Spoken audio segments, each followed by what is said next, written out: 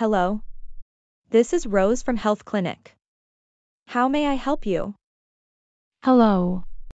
I would like to make an appointment with Dr. Kate. Sure. Why do you want to see Dr. Kate? I have a sore throat and cough. I am not feeling well. May I have your name and age, please? Sure. My name is Amy. I am 26 years old. Noted. When would you like to come? I need the earliest appointment. Can I come at 11 a.m.? I am sorry.